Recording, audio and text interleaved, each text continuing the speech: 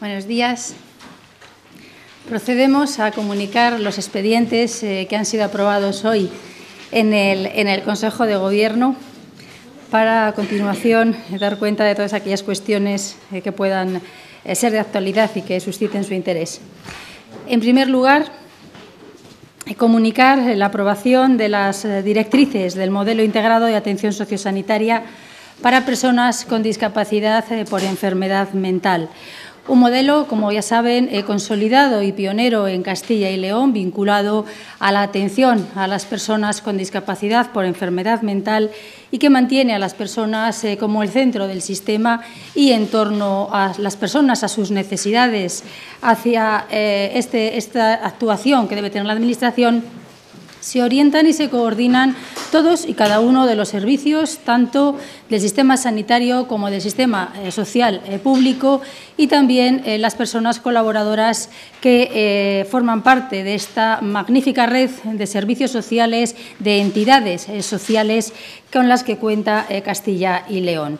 Por lo tanto, las directrices eh, de las que se dota hoy este modelo, eh, que permitirán a los profesionales tener ordenado el funcionamiento, tener ya los criterios eh, con los que trabajar de cara a desarrollar el funcionamiento de este modelo y que, sin ninguna duda, además le dotan de estabilidad. Como digo, deriva de todo lo que es el trabajo en el que la Junta de Castilla y León viene implicándose para garantizar unos servicios sociales vinculados a las necesidades de las personas, tal y como se establece en el propio catálogo de servicios sociales orientado a las necesidades y que determinan que cada persona eh, que esté en este sistema, y más si está en el sistema coordinado social y sanitario, como es el caso, eh, tenga su propio proyecto de vida, eh, cuente con un profesional de referencia al que poder acudir en cada momento y tenga un seguimiento permanente cuando lo necesite la persona en el centro del sistema, eh, fases eh, claras de cara a estas directrices en las que se establecen los criterios y mecanismos para la detección de necesidades sociosanitarias, el proceso de valoración, quién es el profesional eh, que debe elaborar esta valoración, qué prestaciones eh, son las más adecuadas a cada momento de la enfermedad, a cada momento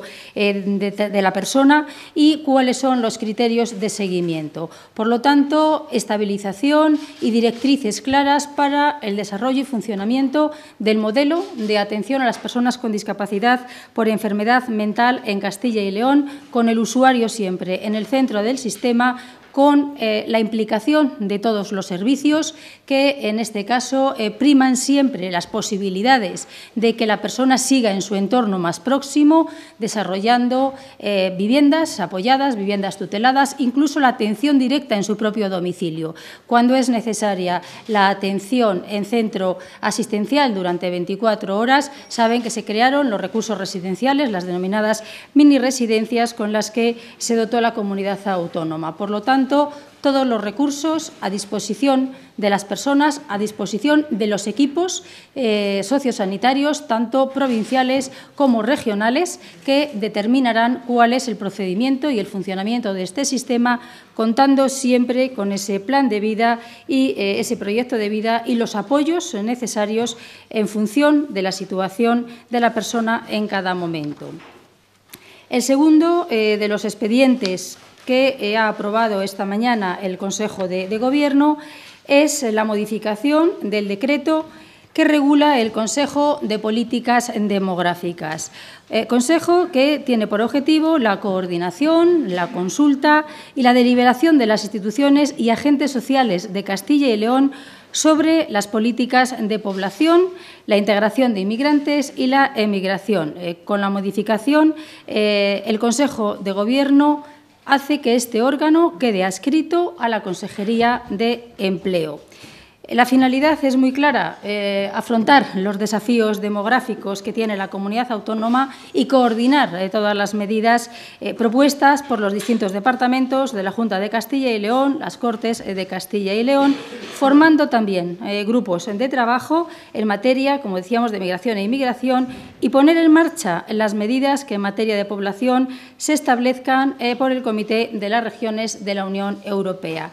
Precisamente en este sentido les quiero comunicar que mañana mismo el consejero de Empleo, Carlos Fernández Carriedo, acudirá al foro de las comunidades autónomas con desafíos demográficos en el que se planteará precisamente el abordaje de esta cuestión como lo que es, como un problema de Estado, como un problema europeo en el que se va a plantear una estrategia europea y una estrategia nacional en materia demográfica.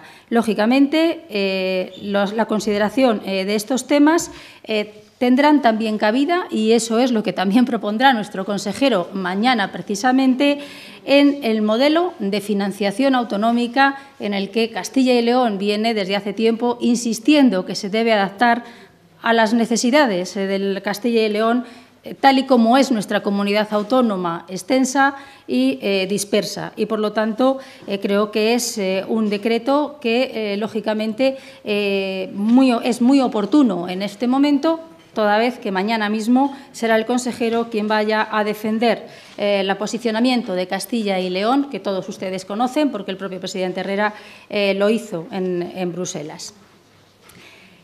Expediente de la Consejería de Sanidad, eh, por el que el Consejo de Gobierno aprueba un millón de euros para suministros en el Hospital eh, Clínico Universitario de Valladolid. En este caso, para la contratación de marcapasos, registradores de eventos y electrodos eh, con destino a este Hospital Clínico Universitario.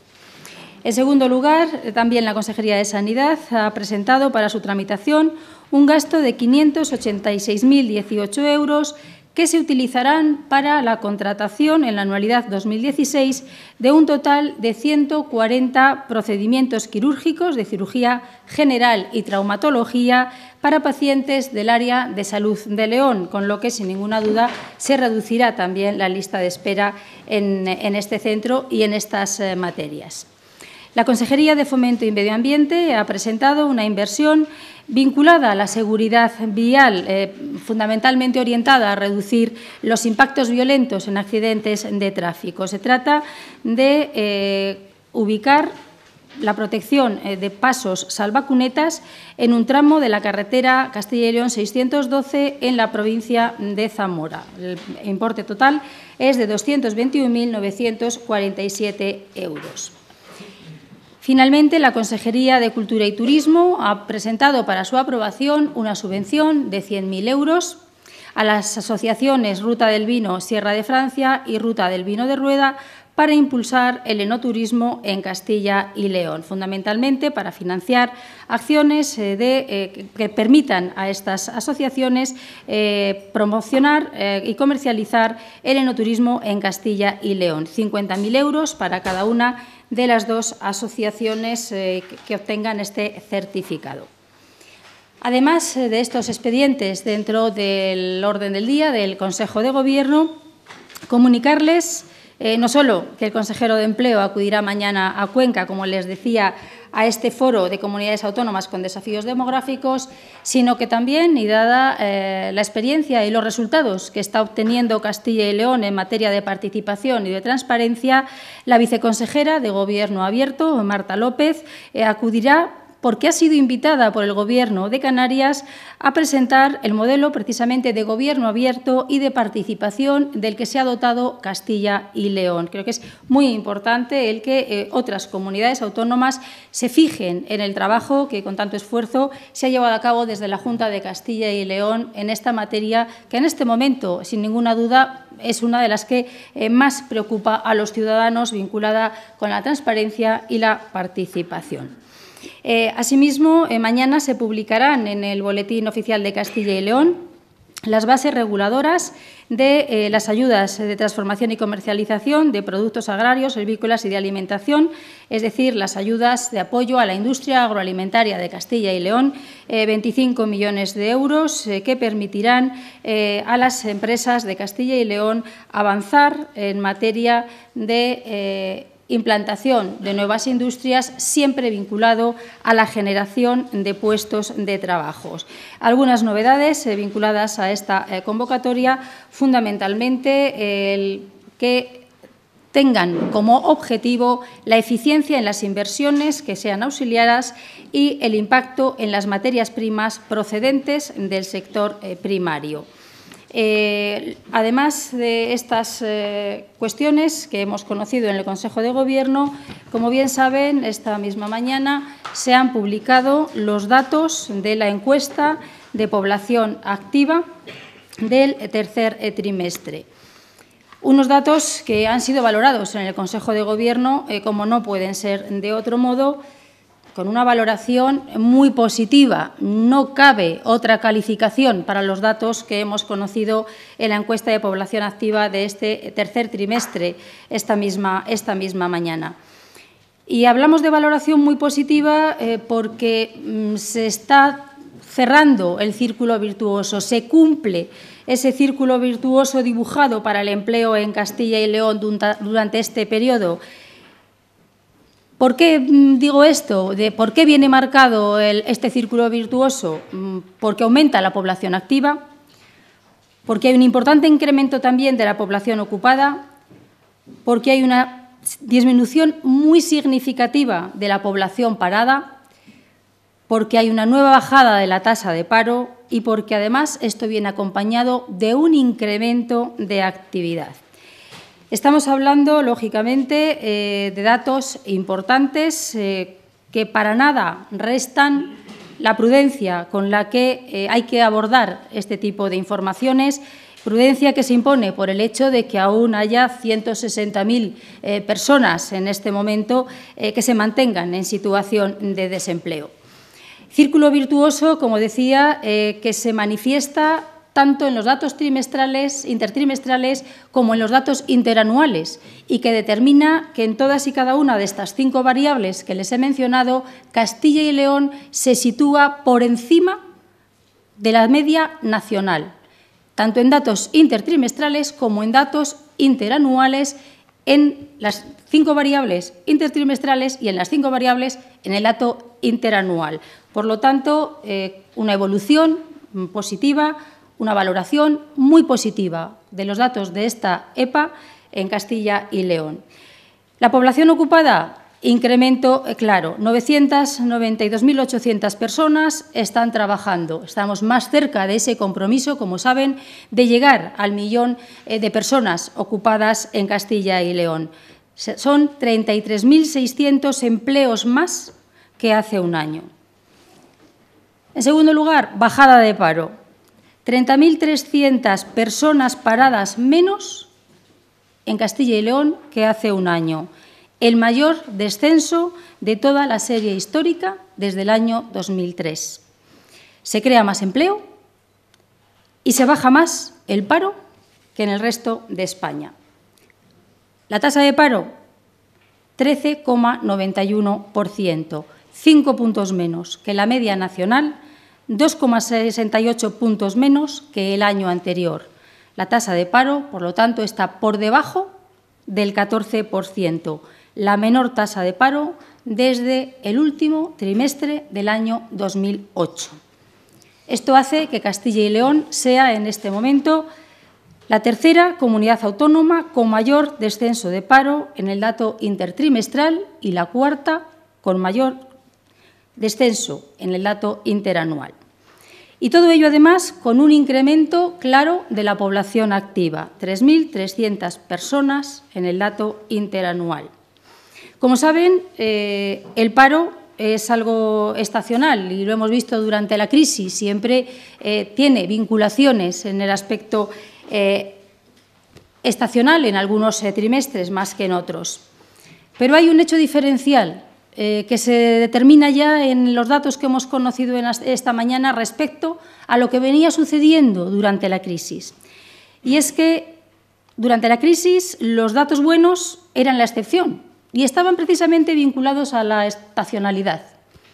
Sin embargo, ahora, en este momento, los datos malos son la excepción y son los que están vinculados a esa estacionalidad. Por lo tanto, eh, vemos cómo estamos en el buen camino, tenemos que seguir trabajando, nada de triunfalismos mientras haya eh, ciudadanos de Castilla y León eh, que estén buscando un puesto de trabajo y aún no lo tengan, pero eh, creo que podemos eh, ser mm, razonablemente eh, optimistas cuando durante los últimos días venimos viendo el crecimiento en la actividad industrial de Castilla y León, venimos viendo el crecimiento y el liderazgo en las exportaciones, venimos viendo cómo mes a mes mejora la actividad económica. Por lo tanto, eh, círculo virtuoso determinado por esa subida de población activa, esa subida de población ocupada, esa bajada de población parada, bajada de tasa de paro y subida de la tasa de actividad que determina que el camino por el que está trabajando y, la senda que está recorriendo la Junta de Castilla y León en esta materia eh, teniendo claro que hay que seguir insistiendo, no es eh, inadecuada, sino todo lo contrario, es la senda correcta. Y estos son los eh, datos eh, que hemos tratado, los expedientes y la información que se ha valorado en el Consejo de Gobierno y a partir de este momento pues nos ponemos, como siempre, a su disposición para todas aquellas cuestiones que se puedan plantear. Yo no sé si en el Consejo de Gobierno se ha analizado el anuncio realizado por el presidente, el candidato a la presidencia del Gobierno respecto a la convocatoria urgente de una conferencia de presidentes en el Senado para analizar la reforma de, de la financiación autonómica. Bueno, eh, lógicamente eh, es una de las demandas de la comunidad autónoma el que haya un nuevo modelo de financiación autonómica. El modelo actual, diseñado por el Gobierno del Partido Socialista, nos viene penalizando desde el minuto cero. Eh, y desde ese mismo minuto cero, el, o el minuto uno, si, si quiere, se empezó a demandar un modelo más adecuado a la situación de Castilla y León. Un modelo que en este momento no está cubriendo siquiera los gastos fundamentales de los servicios sociales, sanidad, educación y servicios sociales, no puede ser un modelo en el que eh, Castilla y León se sienta cómoda. Lógicamente, eh, que para ello se haya planteado ayer un compromiso expreso de gobernabilidad, por el propio presidente Rajoy para su investidura es un punto de tranquilidad para Castilla y León. Eh, se va a abordar el tema, se va a abordar escuchando a las comunidades autónomas y en el órgano de representación territorial que es el Senado. Creo que eh, es importante eh, no solo el que se haya planteado, sino dónde se ha planteado, en qué minuto mm, y momento se ha planteado y con quién se ha planteado. Sí, sobre el caso de violencia de género de Benvibre, me gustaría saber la participación de la Junta de Castilla y León, porque parece ser que le ofreció a la mujer un piso tutelado, y si cree que este tipo de situaciones de denuncias falsas pueden afectar a otras mujeres. Bueno, creo que una situación excepcional nunca se puede generalizar. Lo importante es eh, tener claro que la violencia nunca está justificada, dejar que actúe la justicia y que se esclarezcan los hechos. Hoy por hoy hay diversas informaciones eh, no contrastadas y, desde luego, eh, que el sistema de protección basado como punto de partida en la denuncia es un sistema que está a nivel nacional institucionalizado, que hace que se activen eh, todos los sistemas de protección eh, policial y de protección eh, ciudadana, incluso en, los casos de violencia de género, y que el número de denuncias falsas que ocurre es mínima como para decir que esto es una generalización. Por lo tanto, garantía del funcionamiento del sistema teniendo en cuenta que, como comentábamos el otro día, creo que es eh, objeto de una reflexión eh, por qué están sucediendo estas cosas, de una reflexión de toda la sociedad en su conjunto, el intentar eh, que las conductas violentas no sean consentidas, ni siquiera se pueda utilizar términos que en boca de responsables políticos realmente pueden incitar o hacer pensar que las actuaciones violentas son razonables. No hace mucho escuchábamos calificar de saludable el que eh, unos jóvenes eh, aparecieran encapuchados y eh, realmente cercenaran la libertad de expresión y la libertad de reunión en un acto político. Creo que hay que situar las cuestiones en sus justos términos. Lo que debe ser ámbito judicial al ámbito judicial, pero mm, lo que es un sistema de protección que en este momento está establecido e instaurado que las víctimas tengan la tranquilidad de que pueden acudir a él, de que deben acudir a él y que el sistema de protección social siempre va a estar también para apoyarlas, no solo el de protección judicial, sino y en concreto en el caso de Castilla y León, el eh, sistema y el objetivo violencia cero, que es eh, el que perseguimos en Castilla y León, se dota de una articulación y una coordinación entre el sistema judicial, el sistema policial y el sistema de protección social. Esa garantía es lo que debe animar a las mujeres víctimas a denunciar y a, acudir, a poner en conocimiento de los profesionales la situación que pueden estar viviendo. Pero en paralelo creo que le hacemos un flaco favor a la sociedad consintiendo eh, declaraciones eh, que inciten a la violencia, consintiendo declaraciones que para nada en oídos de adolescentes, en oídos de universitarios, en oídos de los menores, eh, invocan al diálogo, a la negociación y al acuerdo eh, para resolver los problemas.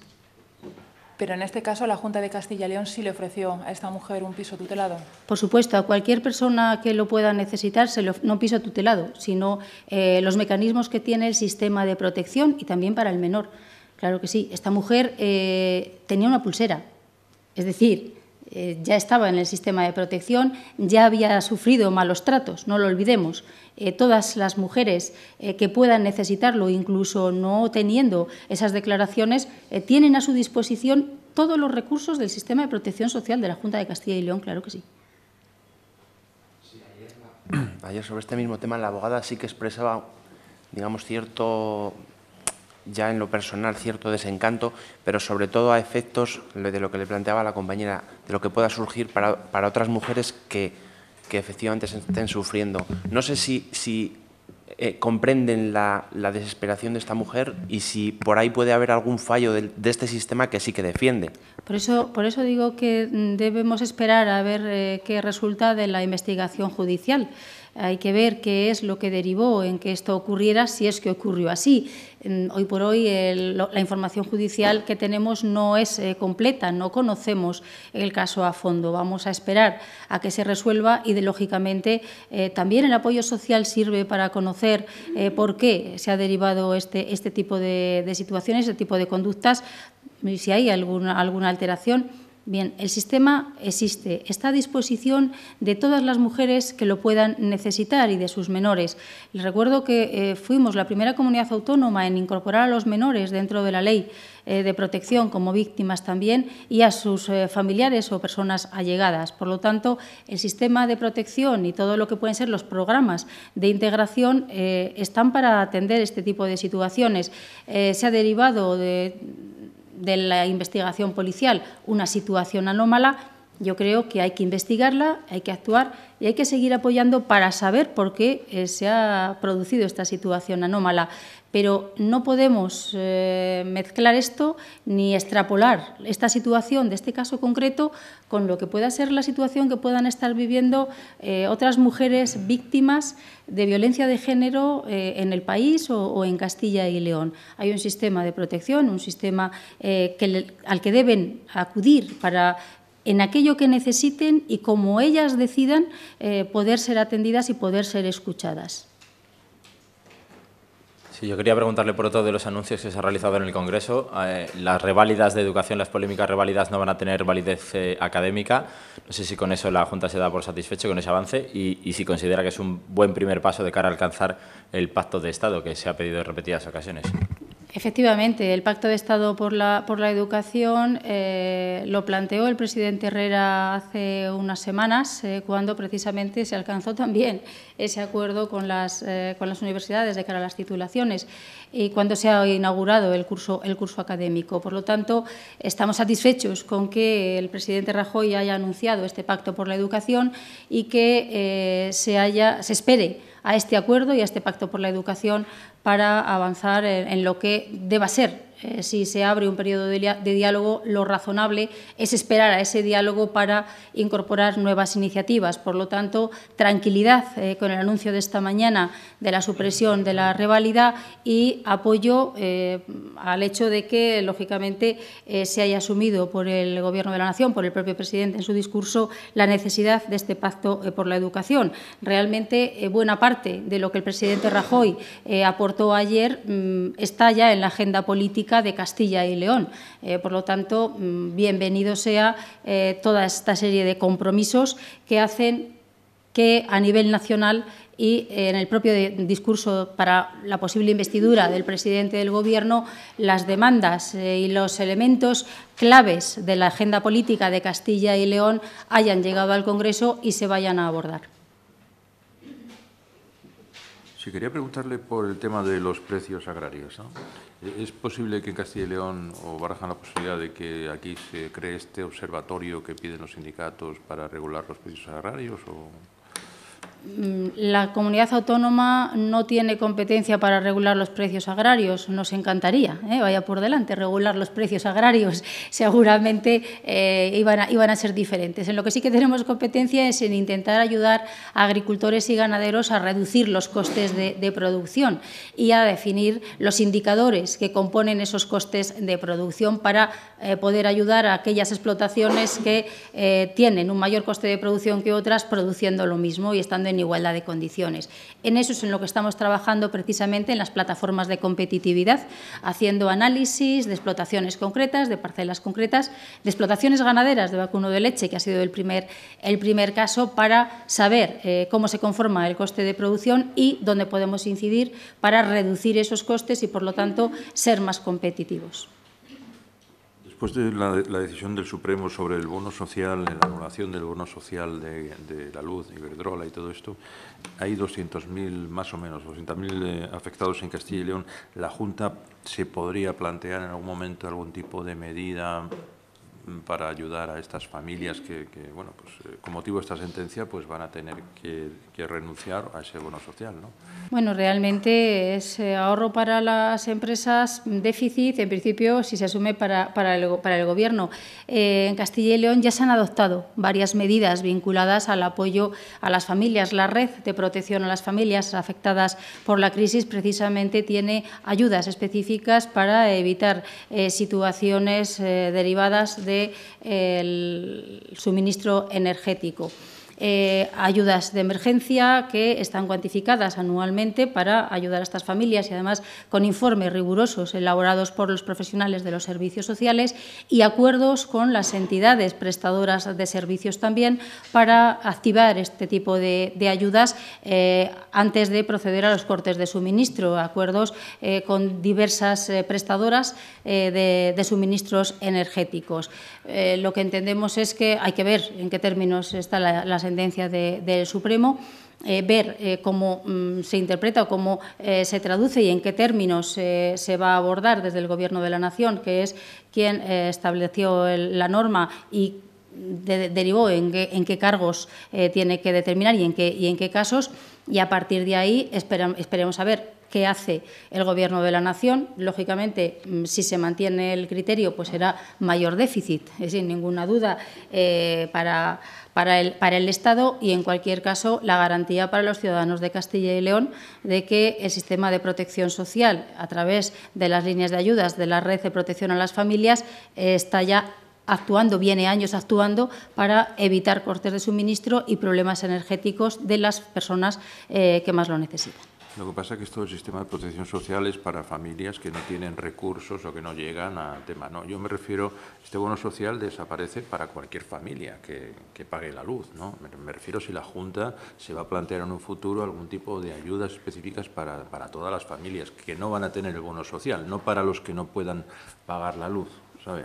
Vamos a ver, eh, el, bono, el bono social es un tema de tarifa energética. La tarifa energética no depende de la comunidad autónoma, depende del Gobierno de la Nación. Vamos a esperar a ver eh, en qué términos actúa el Gobierno de la Nación. Vamos a esperar primero, incluso, a ver la sentencia, que solo la conocemos eh, de referencia, ver eh, qué mecanismos. Estamos ante eh, un nuevo periodo, ante un posible nuevo gobierno a partir de la semana que viene, que, entre otras, entre otras medidas, ha planteado el apoyo precisamente a las políticas sociales y en un marco de diálogo social. Habrá que ver en qué, en qué términos se interpreta esta sentencia, en qué se traduce qué mecanismos eh, se adoptan a nivel nacional y protección a las familias que realmente lo necesitan imperiosamente, como no puede ser de otro modo.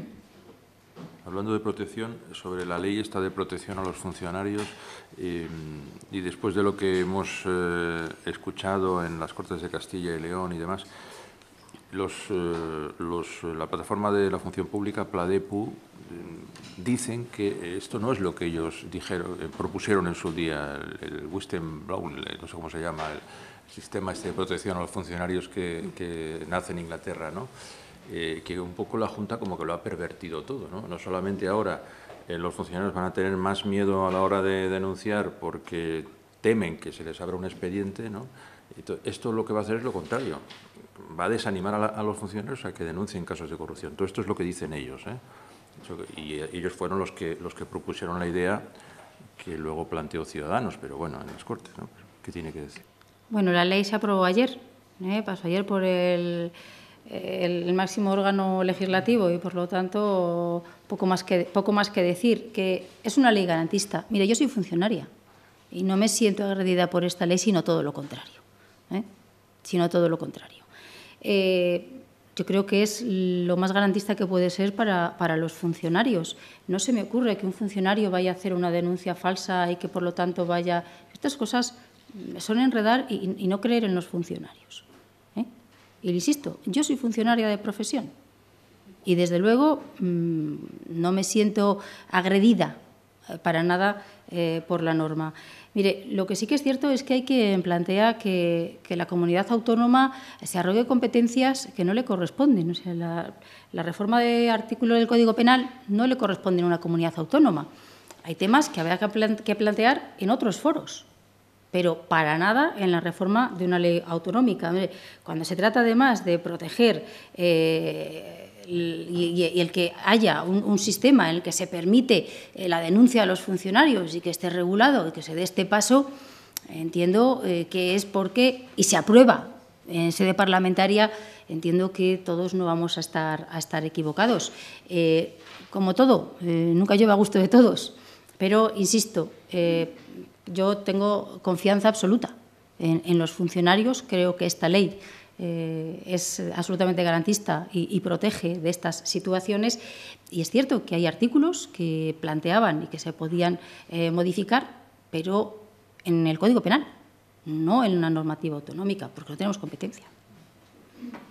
Las Cortes instaron ayer a la Junta que presente el plan de inversiones prioritarias. Yo quería saber si se sienten comprometidos con ese mandato de las Cortes. Bueno, la Junta siempre se compromete, cuando se compromete con el mandato de las Cortes, es porque lo va a cumplir. Se está trabajando en el plan de inversiones eh, prioritarias, en el plan de inversiones sociales prioritarias. Eh, varias de las actuaciones eh, previstas se vienen haciendo y se vienen licitando. Lo están viendo ustedes durante estos días en algunos boletines, algunas de las mm, medidas que vienen a Consejo de Gobierno y que se aprueban en Consejo de Gobierno, precisamente van vinculadas a, ese plan. Unas semanas traíamos varios expedientes vinculados a la mejora de centros educativos, de eh, eh, consultorios. Bueno, se viene, se viene trabajando. Eh, se ha aportado ya la información cuando tengamos presupuestos y gobierno estable cuanto antes, pues se dotará presupuestariamente la, la, fase que corresponda al año del ejercicio 2017 de estas actuaciones prioritarias. Lo que aprobó ayer en las Cortes fue que en un mes ustedes tenían que presentar el, documento completo detallado eh, proyecto por proyecto. Yo no sé si ustedes lo aceptan mm, como tal o atribuyen a algún error y por lo tanto no van a cumplir lo que ayer se aprobó. Eh, es decir, el error de directamente de un procurador del Partido Popular que al parecer se equivocó. No sé si eh, directamente van a, no van a cumplir lo que ayer se les pidió por esa circunstancia o lo van a cumplir porque así lo aprobaron las Cortes? En la medida de lo posible, eh, incluso mm, no diciéndolo las Cortes, pero más si se dice en sede parlamentaria, estaba comprometido ese plan de actuaciones prioritarias por parte de la Junta de Castilla y León. Por lo tanto, no es necesario que nos digan las Cortes lo que nosotros ya hemos dicho que vamos a hacer en cualquier caso. El plan de actuaciones prioritarias es un compromiso de la Junta de Castilla y León. Eh, va a afectar fundamentalmente a sanidad, educación y servicios sociales. Y llevará el decalaje que lleve eh, los presupuestos del, que vengan a partir del Gobierno que se conforme a partir de ahora. Posiblemente, si hubiéramos tenido Gobierno de la Nación, hoy ya, ya podíamos saber eh, qué actuaciones dentro de ese plan se iban a cometer en el año 2017. Eso es lo que le puedo decir.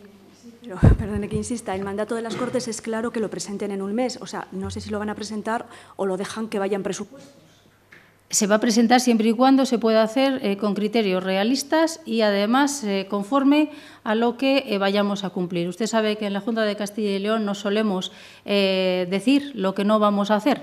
Insisto, ha sido la propia comunidad autónoma, ha sido el Gobierno de Castilla y León quien ha determinado que va a tener ese plan de actuaciones prioritarias. Por lo tanto, si hemos sido nosotros los que lo hemos dicho que lo vamos a tener, lo que sí que vamos a hacer es acompañarle de los presupuestos en función de cómo vengan los presupuestos, pero hoy por hoy no tenemos presupuestos. Si dentro de un mes eh, tenemos el presupuesto, pues lógicamente eh, lo abordaremos. ¿Por qué no queríamos asumir directamente el compromiso? Pues a lo mejor para no, para no tener que cumplir los plazos, porque si no hay presupuesto de aquí a un mes, difícilmente podremos decir qué se va a hacer si no sabemos cuánto dinero vamos a tener. ¿Que en ese plazo tenemos el presupuesto? Pues sin ningún problema. Estarán encima de la mesa cada proyecto y el gasto que corresponda.